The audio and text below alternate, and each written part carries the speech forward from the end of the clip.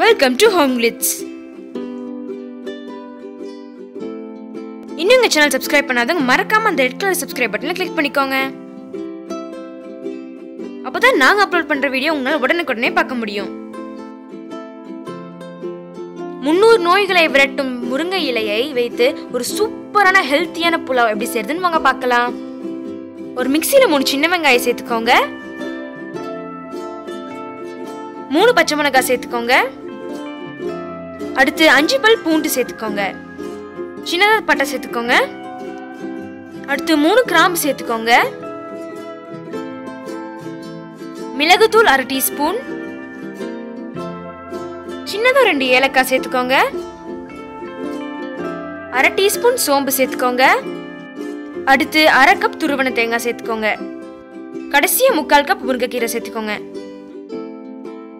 இப்போ கொர கொர பேஸ்ட்டாக அரைச்சி வச்சுக்கோங்க. ஸோ இந்த கன்சிஸ்டன்சிக்கு அரைச்சி ஒரு பேனில் ஒரு டேபிள் ஸ்பூன் நெய் சேர்த்துக்கோங்க. ஒரு சின்ன துண்டு பட்டை பாதி பேலீஃப் அஞ்சுலேருந்து ஆறு முந்திரி சேர்த்துக்கோங்க.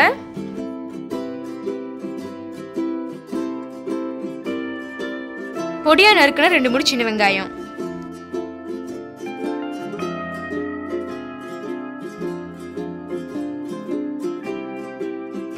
வெங்காயம் வதங்கினதுக்கு அப்புறம் அரைச்சு வச்சதை ஆட் பண்ணிக்கோங்க.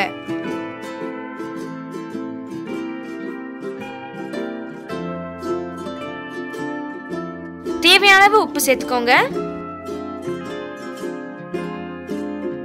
பச்சை வாசனை போற வரைக்கும் கொஞ்சம் தண்ணி தெளிச்சு வதக்கிக்கோங்க.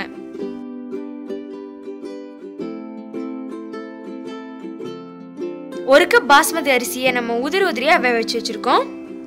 இப்போ அந்த சாதத்தை சேர்த்துக்கோங்க. இதை நல்லா கிளறி விட்டுக்கோங்க.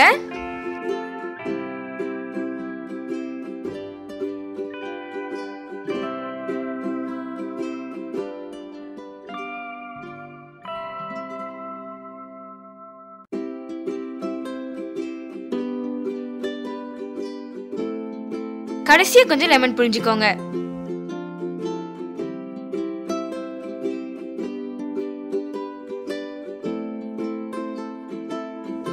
அவ்வளவுதான். மிக்ஸ் பண்ணி விட்டு அடுப்பு ஆஃப் பண்ணிக்கோங்க.